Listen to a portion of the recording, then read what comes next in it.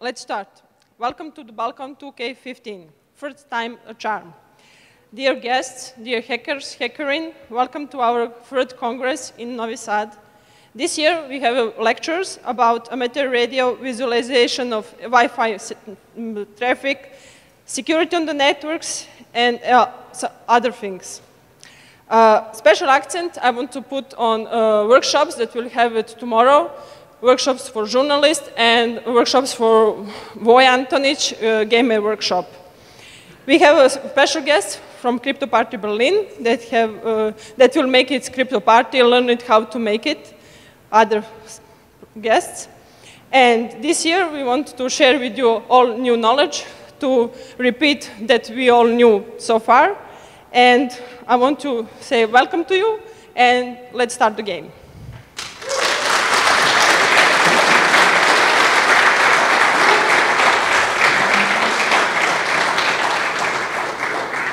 And our first speaker will be from Novi Sad, Miodrag Milanovic, with MAME and presentation of software. Thank you. Well, uh, let's start. uh, how many of you actually heard about the MAME? Yeah, expected. And uh, how many of you actually heard about MESS? Also expected. And I will give the later point on, on this. Uh, this talk will be uh, mostly at uh, what MAME is, uh, what we are doing, and about the uh, preservation of software and how we should, uh, how we can all help improving that. well, first, what MAME is. Um, MAME is a multiple arcade machine emulator, uh, but that is the initial name of the project. Uh, lately, uh, we did some changes uh, how we do things, and we incorporated a sister project called MESS inside. Uh, the project was started by Nicola Salmoria in year uh, 1997 and uh, it was actually running uh, first one game, then five games, and right now we are about uh, 30,000 games actually playing inside the MAME itself. Uh, oh, just a second. Um, uh, just a second. Okay, I did. Okay, um, MESS is a sister project of MAME and it is uh, basically uh, emulation of computers and consoles.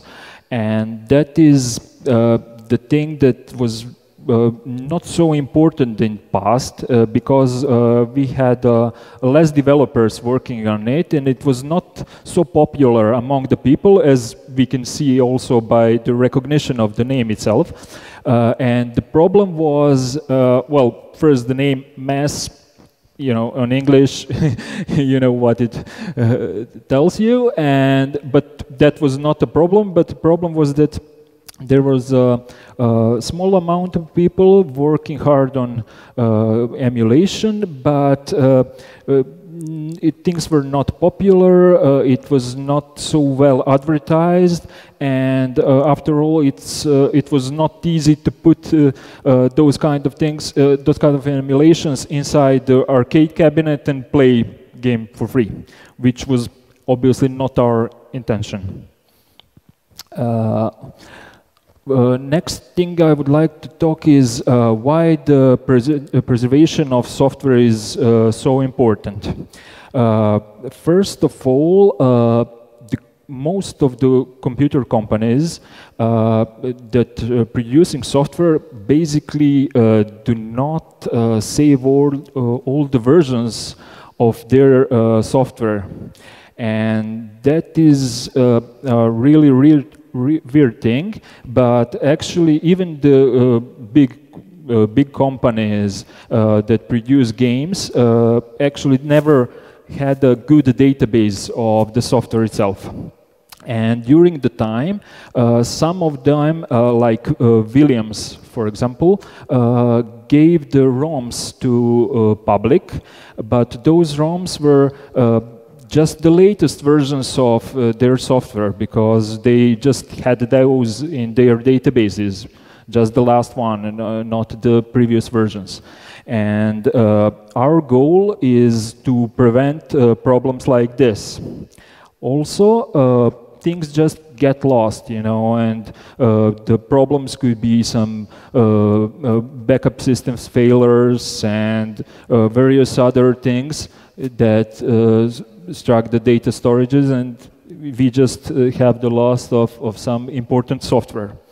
Uh, yeah, as I said, the storage mediums are just unreliable, and uh, the problem is that software in past were stored on cassettes also on floppies, which have a limited time. Uh, so basically, after uh, some time, you just lost the during the due to the magnetization of the medium, you just lost data on it. And also, uh, when we look at the, what is uh, saved in form of uh, uh, any any mean of saving like uh, making a, a, backup copies on the internet you basically have just the good and nice stuff so uh, you are uh, limited uh, to preservation of the uh, software which is just well known and well done and that it is not up to us to decide what should be saved and what should not be next uh, thing will be how we actually do that uh, from the side of uh, MAME project. Uh, we use the uh, source code as a document. Uh, so basically, our source, our source code, I mean, MAME is done in C++ and you actually have the parts of code uh, which uh, contains uh, just the CRCs and H, SHA uh, one of the files, ROM files, uh, from the original games or uh, from the original firmwares of various computers or arcade games. Uh, why this is important? Uh, thing is that source code does not have anything uh, that is uh, legally owned by uh, any other company. So basically, it is safe to store that as a part of the source code. also, you you have the one place on which you can actually check if some of the dumps uh, is valid or not. And we have a tool inside our uh, project uh, that can loop through all the uh, known ROMs and check if one of your ROMs is available in our database. Uh, the second thing we do from about two years in the past is XML software database. we called it soft lists.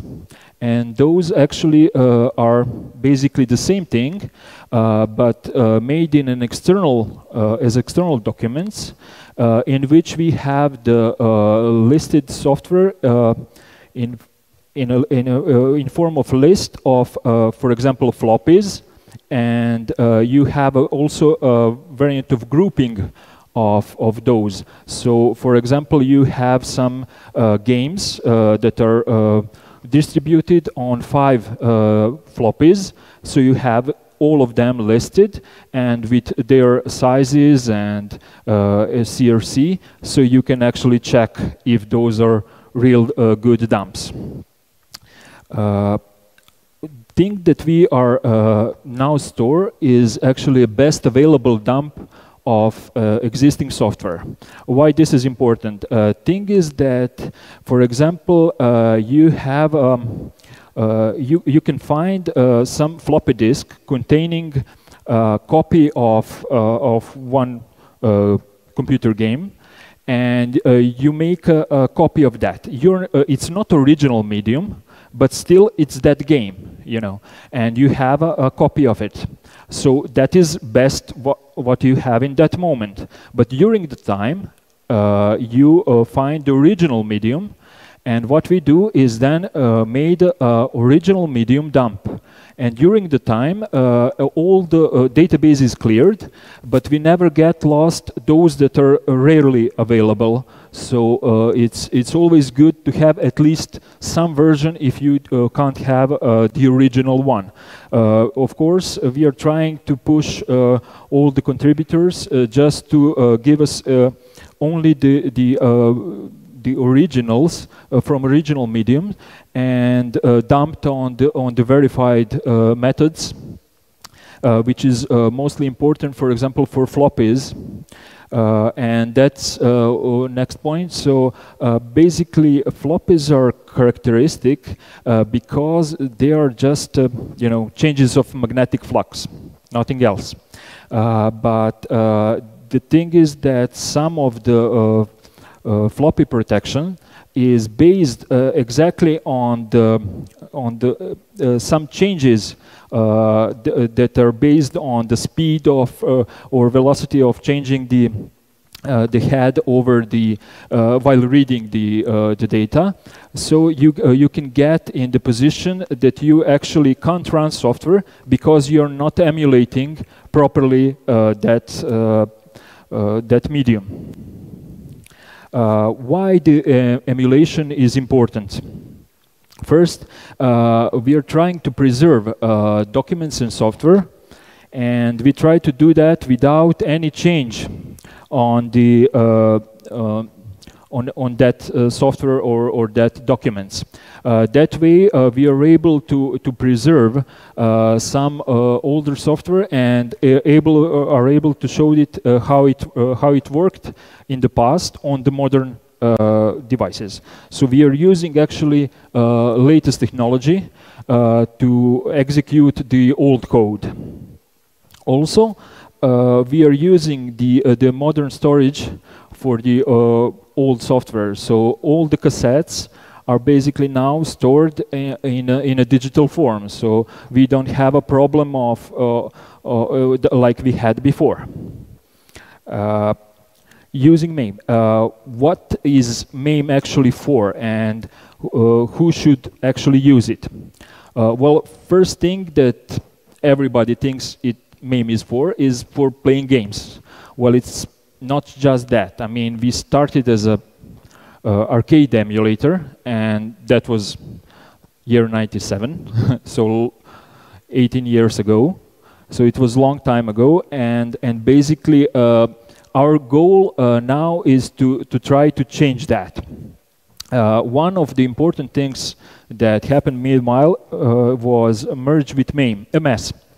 Uh, so uh, what that uh, gave, gave us is basically it, we involved the, the development for computers and for consoles into the world of MAME.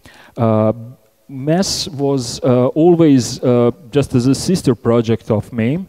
So basically what we did is that we used the, the, the source code of MAME as a, as a start point and then uh, just uh, add new uh, devices, emulation, and add the support for uh, reading cassettes and floppies and so on one of the uh, most powerful things uh, inside the MAME is its debugger. Uh, debugger is, is uh, uh, very useful uh, since you can basically develop and see how the things are working on actual machine from the past. Uh, by executing it, uh, you can change uh, code, you can change data areas. Uh, basically, you you have a, a, sandbox in which you can uh, you can play with with the old computers and software for it. Uh, I, I, can give you an example of that we are actually uh, right now uh, able to run uh, Windows 2000 in the MAME. So on the uh, uh, Intel processors. So basically, uh, we, we, we reached that level of emulation. but also, what is important is that our goal is for MAME to be used in the development of some new hardware and to use it as a, as a development tool uh, for creating a, a, new hardware that actually do, does not exist. Because, for example, we have the uh, 80 cores uh, for CPUs, and also a lot of other sound cores, video cores. So basically, you can easily uh, uh, take all of that, uh, create some virtual machine that doesn't exist, and write software for it, and then you can basically build it afterwards. Uh, important thing that uh, happened, uh, that is going to happen, but it's, it's still in works, is going open source. Uh, MAME uh, was always source available. So for all these years, we always gave our source uh, to people, and uh, it was uh, free to download. And uh, the main problem why it was not open source is that there was misuse of some other companies and persons that uh, thought it was really good to uh, make money off of it. And basically, uh, the thing that they did is they they built arcade cabinets and then they sold those arcade cabinets with MAME inside and also they use the name of the MAME, which is trademark, and that's why we needed to uh, register that trademark in order to prevent this kind of problem. And the main problem is that basically uh, uh after that, uh, we were those that, uh, that were having a problem because of their misuse, because companies uh, were sending complaints to us, thinking that we are actually uh, you know, because we created the emulator. But legally, there were no problems. Uh, first thing that we did is that we used the SVN. And uh, first thing that we did, we, we joined two SVNs. One was uh, a MAME uh, SVN, which was private. And the other was MESS SVN, which was public uh, during that time. And we merged that and created that first as a public uh, repo. And then uh, after that, we decided to move to the GitHub. And that was really a good and important step because that is how we gained uh, more people uh, to work with uh, our software. And the good thing is that uh, actually what we uh, did is that we uh, open ourselves to community and said, okay, uh, be aware that uh, uh, MAME is there, that we are open and that you can contribute easy to us.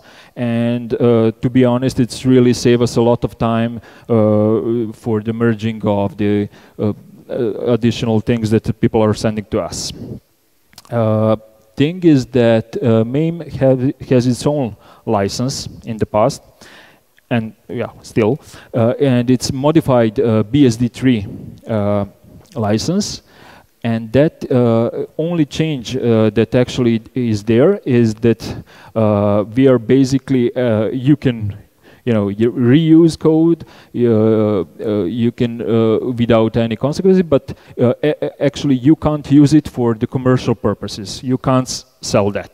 And that's the, the restriction which is not recognized by OSI. And that's the reason why we are actually moving to the new license. But since there is really large number of contributors, and we still need, need a way uh, somehow to protect uh, their rights on their code. Uh, thing that I proposed was those these three uh, licenses. Uh, most of the code right now we are somewhere about 96% of coverage of uh, code that is licensed put because we, we needed to contact each and every contributor from the last 18 years, and that's a hell of a job. So it's not that that easy. And uh, 90, 98, 96% uh, of code is now covered with the licenses, and about uh, uh, I think it's about 84% of, of current code is BSD3. And this is really important because this really gives a full freedom of usage of our code. And uh, what is most important is that uh, it's basically uh, core of the project is BSD3. And that makes uh, things easier for uh, any future use. And GPL2 and LGPL2 are mostly code that is uh, emulation of specific computers or arcades. So because there are some things that people really spend a lot of money and effort in the past, and they uh, want to protect that in some way, just at least to, to be able to get uh, a code back uh, from whoever using it. Uh, yeah, the uh, one important thing is that why we did uh, move to the open source uh, is that actually good thing for us would be usage of other open source libraries and then we will be compatible when we are also the open source fully. And uh, also there are a lot of companies uh, that are actually giving uh, their tools uh, for free to all the developers that are producing the open source software, which is sometimes really important for us, especially for some profiling and things like that.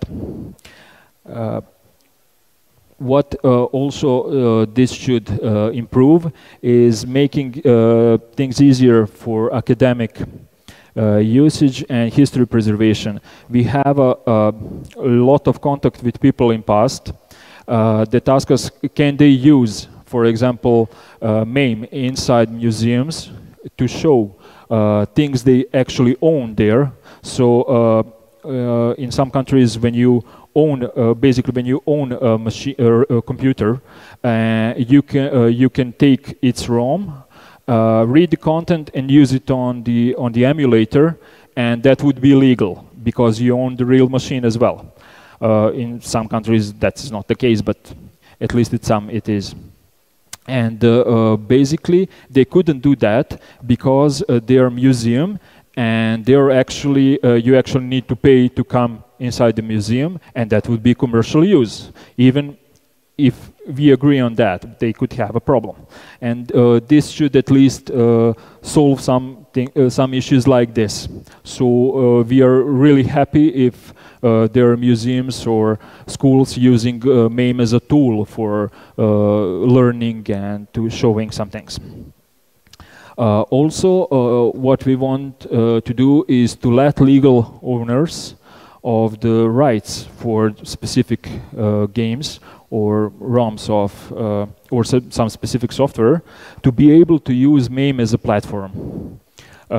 so basically, no, we are not going uh, commercial, uh, but uh, we will always be open. we will always be free for use.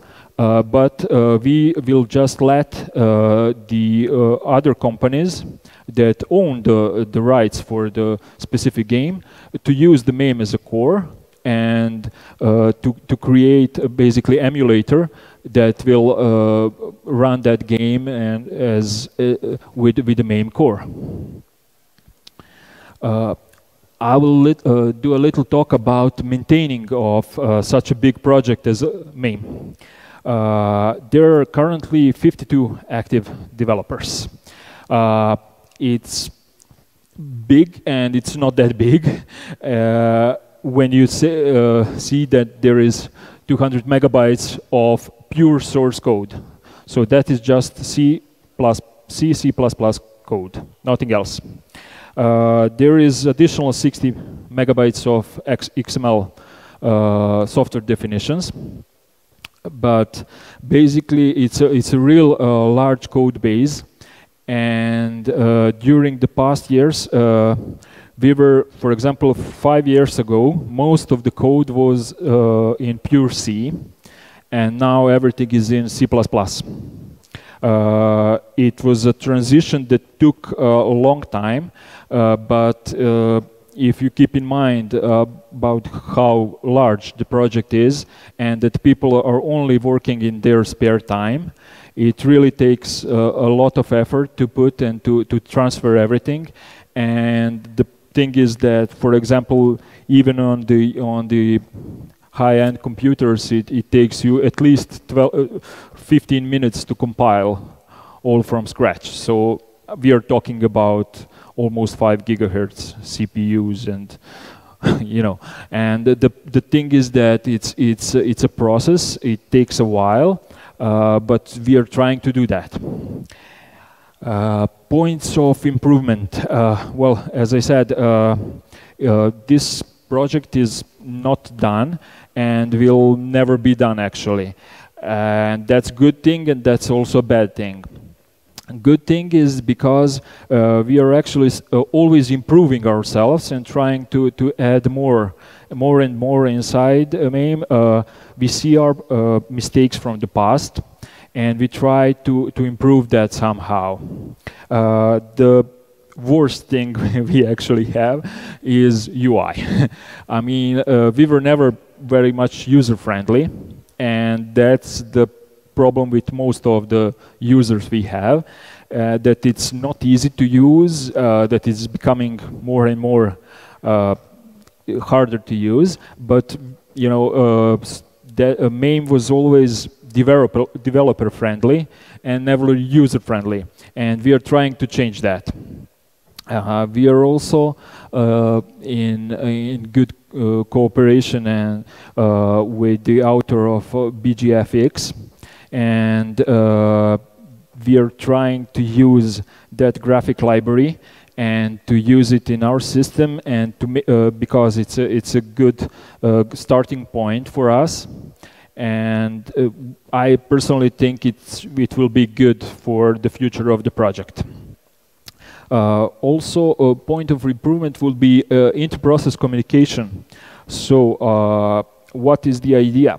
Uh, you are actually uh, emulating, for example, a PC computer, uh, but you would like to have another PC computer and to make them talk to each other.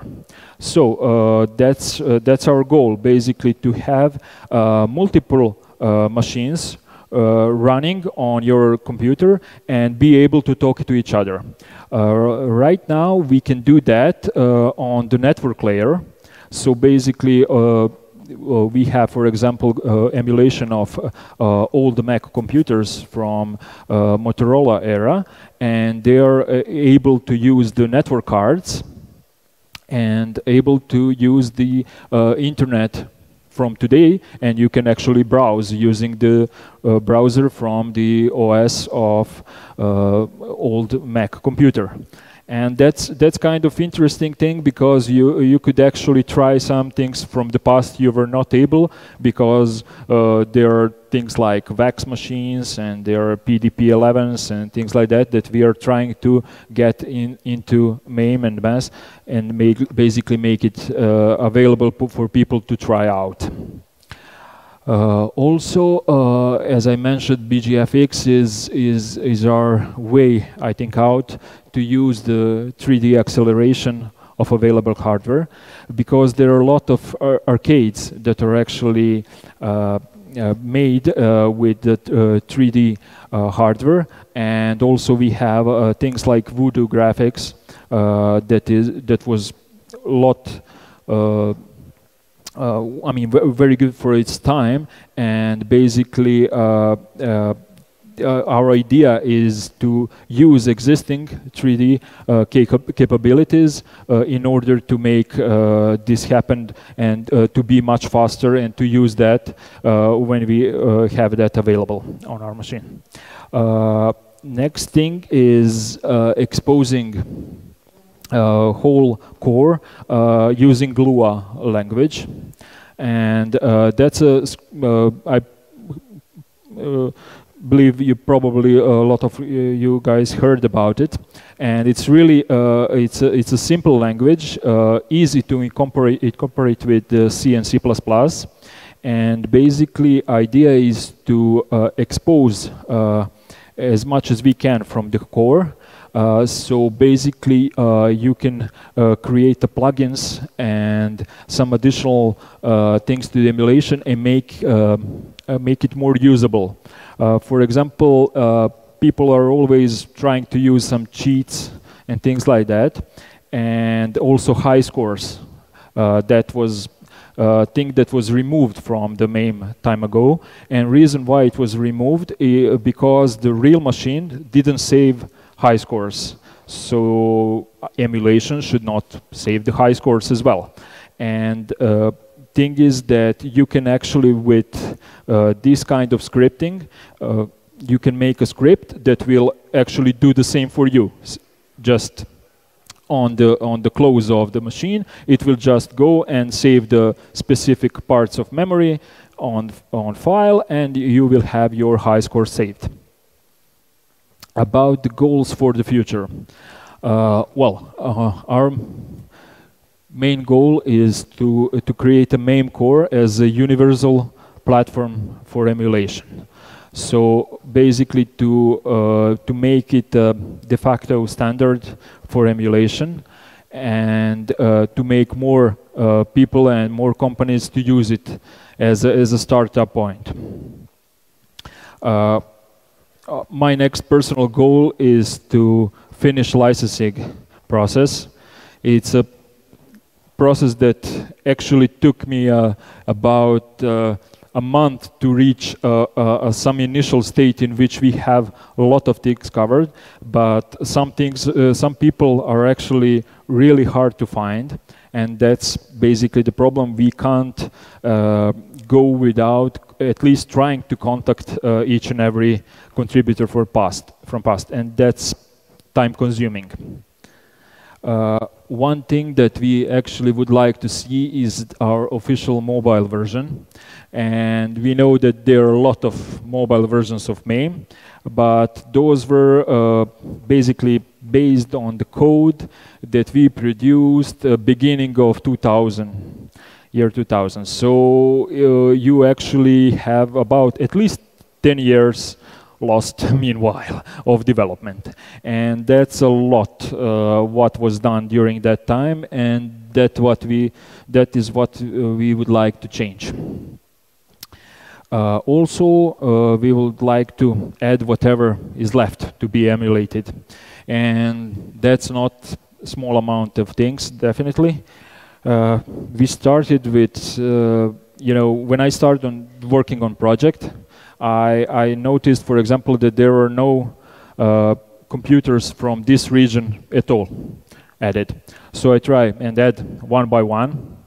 And uh, after a year, then I noticed there there were a lot of Eastern European computers, at least at, at all not available, and I also then start to add in them. I, try to contact some uh, uh, Russian developers, some uh, developers from East Germany, ex-East Germany, and they were really helpful. And they they send us ROMs and they send us their version of emulators and they help us fix some issues. And actually, during the time, we added, uh, you know, uh, hundreds of machines uh, that were just never, never in of interest for the Western people. Uh, but uh, after some time, you see that there, there was just, you know, those machines were really interesting for, for people. For example, everyone wants to see how the first, first machine that uh, ran uh, Tetris looked like and what's that machine, how it booted, how it worked, you know, you just want to know how it looked. And th that is what uh, we actually try to do. So there is always something to be emulated and uh, I hope we will uh, uh, get more contributions during the time. Uh, yeah, I think I'm at, uh, almost at the end of, of my time. So I would like to ask you if there is some questions. Uh, yeah.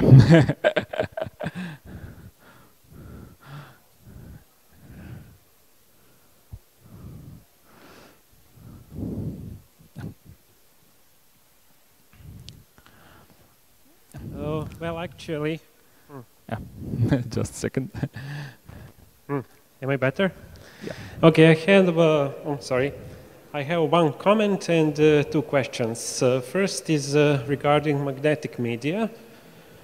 Uh, my experience with magnetic, my own magnetic media is that uh, if it is uh, well stored, it will work. Yep. I have uh, my tapes and floppies from over 30 years ago, and they still function perfectly, actually. And uh, I'm very happy about it. Uh, what I wanted to ask is, uh, do you have any cooperation with CryoFlux people? The, the, they made um, Yep. device to read the floppy disks. And uh, other question is, uh, do you have cooperation with uh, other people who work on uh, uh, specific emulators for the machines? Yeah. Uh, well, I will first answer the, the second one. Uh, so uh, actually, we do have the cooperation with with people working on other emulators, and yeah, during the time we were known as a Borg uh, emulator because we assimilate everything that we find. But uh, basically, it was not that true. But uh, thing is that what is different between MAME and the other uh, emulators is that we actually have a goal to emulate everything you know and all of those other projects have a goal to emulate just specific uh, uh, machines or uh, just from the specific manufacturer, for example. And uh, thing is that when they are finished, they're finished and there is nothing to improve and those projects basically are, uh, uh, most of those projects have even better capabilities in some uh, places than, than MAME. and the reason is that they can basically optimize uh, their work uh, because they're doing one thing. We are trying to generalize that, and that's uh, that is a problem, but it is also a good thing because you have the more. So we have the the good uh, communications with uh, with a lot of authors. For example, for the author of Modeller emulator, also from PSX author, and we have the communications also with other. I have the good communication with some Russian developers, and every one of uh, every of us have a, a, communication with some of the people. Uh, thing about the cryoflux and the the other uh, ways of, of preserving the uh, the media. Well, uh, thing is that uh, they kept their format closed, and that was our biggest problem. Uh, we could create the uh, uh, image of media, but we didn't have a, a we were not able to read it because they, they, they just have a DLL and provide us just the, the, interface and that was not uh, enough for us because uh, we are actually multi-platform project so we need to work on Linux and OS X as well. And the thing that happened is that basically one of our guys uh, did a reverse engineering of whole uh, their, their streams and basically uh, he documented everything and put that uh, online. And the day after they put their documentation online with the full description of everything. And they were matching but they were just from the different authors. So yeah basically they, they, they were thinking of opening themselves but yeah it was just a moment of, of decision. So basically yeah at the, at the end, we, we have the, the CryoFlux support, yeah. Thank you.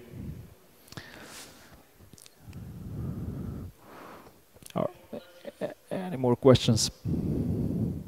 Feel free to ask, yeah.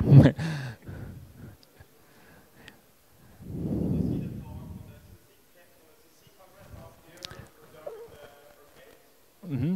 uh, yeah, uh, from Angers. Uh, yeah, yeah, yeah. We were in, in communications.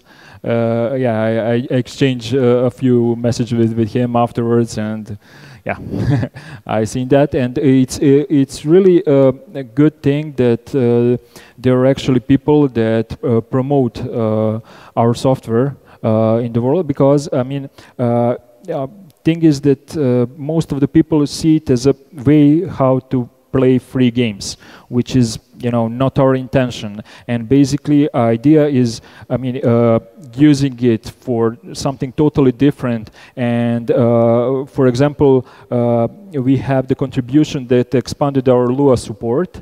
And the good thing there is that uh, basically the guy uh, created the script uh, which, uh, for example, show you the hit boxes in a game so you can actually see uh, where it will strike you before it strikes. So yeah, I mean, it, it's, it, it's a cool stuff, but you can actually do that without any code change. So you have just a scripting language in which you can do that and that's, that's really good because uh, it let people uh, imagination work and they, they, they can create something new.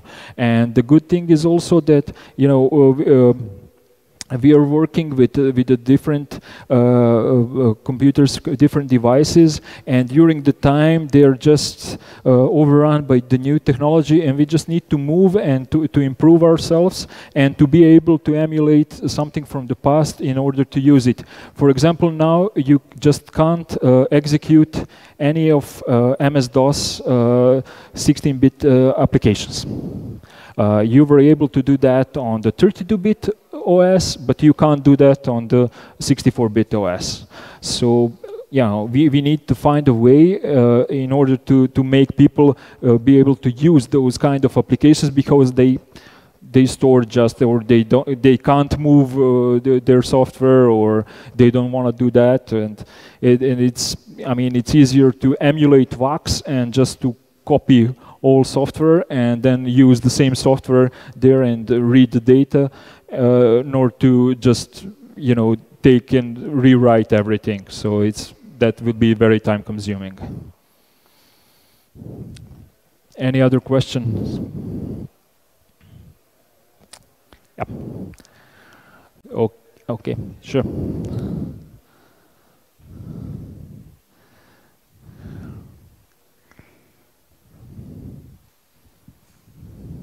You said that with your database of software that uh, you want to make sure that you are not uh, against someone's copyright. Yeah. So uh, do you have some criterion how you decide if something is abandonware or not? You mentioned Windows 2000. Yeah. I imagine you would not put this into your code database. No, no. So what do you put in? How no, do you no, decide? No, uh, well, uh, just let me explain. Uh, basically, what we what we put in our uh, database are just the uh, some file name, uh, size, and CRC and SHA1. So you basically have just a hash of and the size, which is enough to distinguish files. And uh, uh, we do not provide any of those ROMs because we can't. And there are, uh, but there are some companies that gave us a right to provide their ROMs, and basically you can find them on our site. Those are the, just some simple games, but it's it's okay. I mean, during the time, we uh, we believe that there will be some other companies that will also give their games for free, and at least uh, those will be available. I mean, they can't sell it anymore. Uh, but the main problem is that you have issues like, uh, for example, if it was um, a game from Sony era, uh, you have a, a, CD which contained the data that is not a, that problematic. So you will have the uh, uh some company that is having right on the code. Uh, but the problem is, for example, that music is uh, that is used on for that game uh, was licensed just for that one release and for the time period of I don't know three four years, and after that even Sony can't uh, sell it anymore with those songs. They need to put something else or to relicense.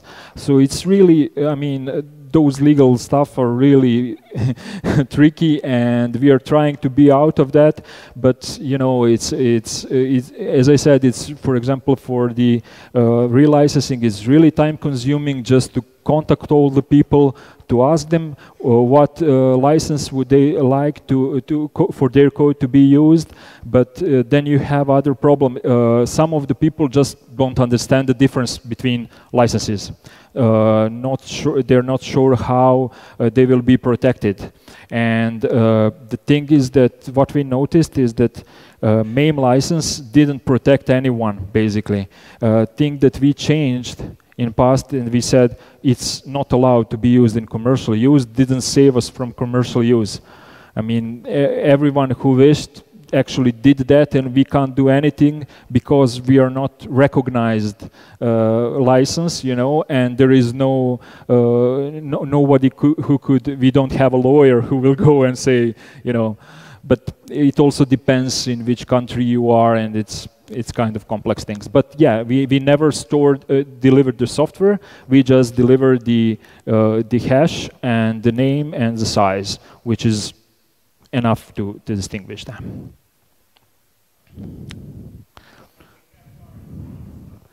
Yep, sorry. Yeah, yeah, you have torrents. You can. I mean, it's it's really easy to find uh, any ROMs for for MAME. I mean, uh, uh, they always ask us uh, why uh, do we put uh, I don't know fruit machines? Why do we put pinball machines? I mean, those are as well arcades. for now, they're not playable. That's the fact. There, there are also a lot of drivers that are not playable. Uh, they're not, uh, emulation is not finished or uh, protection is not uh, yet uh, uh, done. And basically what we say is that we will always give the full set and officially you will always get a full set of, of, of uh, games listed. So uh, people uh, people will uh, then download the torrents etc and they will distribute that all over the world. So software will be preserved that way. So basically uh, uh we are making sure that uh, not only nice things are saved but everything is basically saved. So uh, even if it's produced by the IBM or if it's produced by Sony or if it's produced by some company that never heard of it will be saved, you know, and that's that's the whole goal of the of the preservation of software that we are trying to achieve. Okay, I think that will be it. Ah, okay, one more question, sure.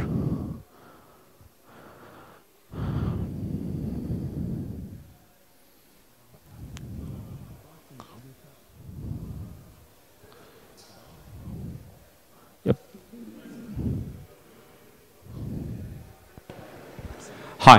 Yeah. Okay. So um, I have a question. You said uh, that uh, MAME was once open source and then it went closed source. Am I right? Did I uh, understand uh, you well? Or? No, no, no. Uh, it was always uh, source available, -huh. but it's basically. I mean, it was you. You can always download source, but it was never open source till recent times. Yeah. So the source was available like in public domain or? Uh, yeah, yeah. Uh -huh, you yeah. could basically download uh, each release. Uh, SVN, uh, yeah, you, you, you notice good. Uh, SVN was not public.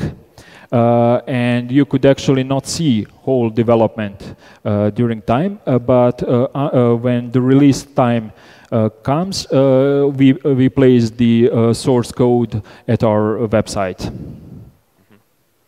So, so that's basically changed now. We moved to GitHub, and basically you can have the source always available, and uh, you can download even the old releases from the 0.1. Thank you. No problem. Thank you. Okay, I believe that's it. So thank you, everyone, and I wish you good rest of the day. Thank you.